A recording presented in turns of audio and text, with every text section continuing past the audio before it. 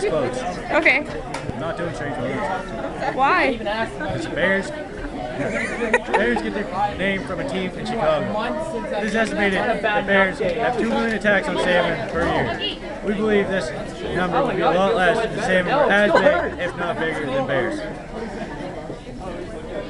That was a strange one, this quote. Okay, thanks.